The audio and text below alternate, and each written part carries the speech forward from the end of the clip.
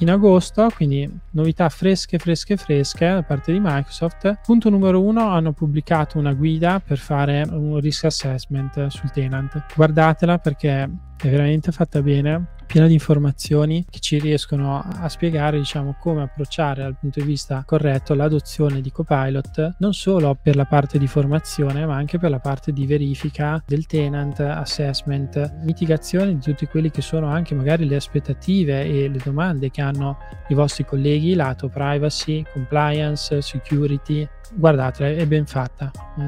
Mm. Poi hanno aggiunto nuove um, lingue nel supporto Copilot, sono 12 in più e quindi se non mi sbaglio siamo arrivati a una quarantina. Io contavo 39, 27 l'anno prima, dovrebbero essere 39 diciamo più o meno una quarantina. Arriveranno a settembre, quindi inizierà il rollout a settembre. E tra queste c'è il croato, c'è il greco, c'è il serbo, insomma, stanno aggiungendo un, un po' tutto quanto. Poi hanno integrato la dashboard di Copilot di Insights con Viva Glint e Viva Pulse. Questi due tool sono due moduli di Microsoft Viva che ci permettono di recuperare feedback dai colleghi e quindi fare dei survey. Mm. Viva Glint soprattutto ha all'interno del suo set di domande prestabilite eh, anche tutte le domande per valutare l'adozione di, di Copilot. Fantastico perché finora abbiamo dovuto fare diciamo tutti i form manualmente no? per valutare l'adozione di Copilot, invece adesso per quei clienti che hanno scelto di acquistare la licenza di Viva Glint eh, abbiamo la possibilità di fare il form di verifica dell'adozione e direttamente da lì con la possibilità poi di valutare i risultati per area aziendale, no? per gruppo, per dipartimenti e così via. È un'ottima cosa questa, così come è ottimo il fatto che Copilot finalmente è arrivato in general availability nei tenant, quelli governativi, quindi per US, ma, ma non solo, anche in GCC. Buona cosa questa. Ma soprattutto, finalmente, dentro Outlook, quindi quando faccio domande alla barra che c'è sulla destra in Outlook, che è, è nuova, ho la possibilità finalmente di recuperare informazioni in modalità conversazionale anche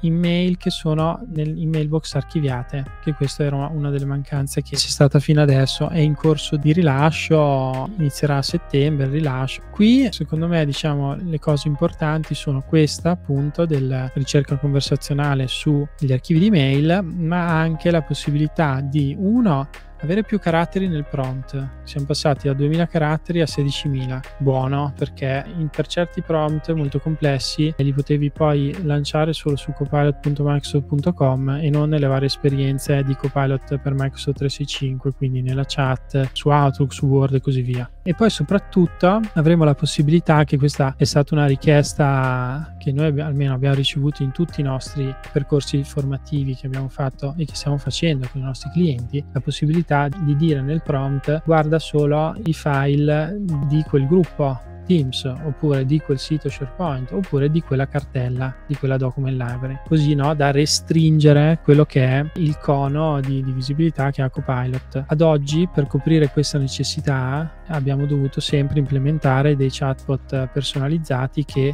magari rispondevano solo sulle procedure aziendali oppure solo sul set di documenti che voleva il cliente. In quel caso un po' abbiamo mm, diciamo, fatto con Copilot Studio, però in realtà alla fine la scelta migliore è stata diciamo, di fare il chatbot personalizzato con Azure OpenAI e la possibilità quindi di fare la ricerca conversazionale sui documenti che venivano indicizzati da SharePoint o dal file server, da... dopo lì li possiamo indicizzare dove vogliamo. Se siete interessati a questo scrivetemi perché è diciamo, un caso d'uso che ormai abbiamo fatto su diversi clienti. Chiaramente questo caso d'uso è ancora valido no? anche dopo questo aggiornamento perché le aziende non danno copilot a tutti, no? mentre invece se tu vuoi dare il chatbot per la ricerca conversazionale a tutta l'azienda puoi farlo anche senza dare la licenza di Copilot usando Azure OpenAI come motore di ricerca conversazionale. Mm.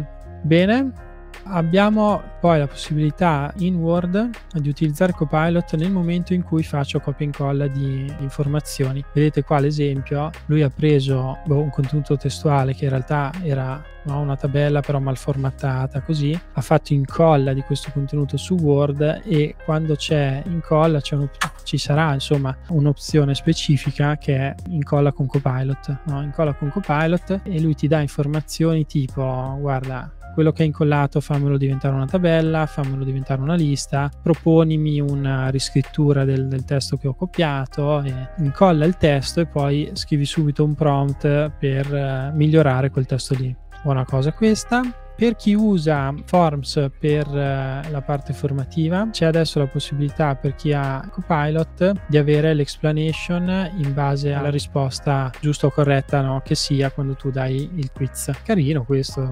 Poi finalmente nelle chat di gruppo, che cosa che non era possibile ad oggi, è possibile adesso invece fare dei prompt basati sul tempo. Quindi no? dimmi quello che era stato deciso a marzo, fammi un recap dell'ultimo mese, fammi un recap degli ultimi ultimi sei mesi oppure chi è che ha fatto la tal domanda a dicembre, cose che diciamo si possono fare in altri ah, contesti, adesso si possono fare anche nelle chat di gruppo private, quindi con più persone anche in Teams. Mm?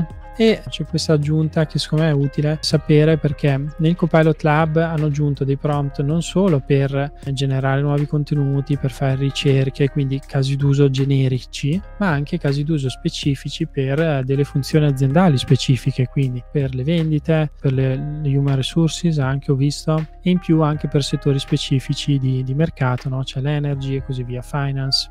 Devo dire è un primo approccio da parte di Microsoft nel, nel Copilot Lab. Quando arriverà il mio libro, che sarà su Amazon, ma anche su tutti gli altri store, sia online che fisici, ho messo ben 100 casi d'uso di prompt funzionanti che noi stiamo presentando chiaramente a tutti i nostri clienti, divisi per uh, funzione aziendale, quindi dateci un'occhiata. Sono solo 100 degli oltre 400 erotti che abbiamo su copiloccircle.com a cui potete accedere contattandoci.